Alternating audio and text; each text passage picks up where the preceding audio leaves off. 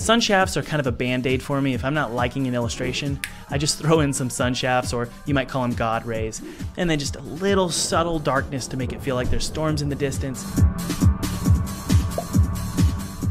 You can't win a marathon without putting some band-aids on your nipples.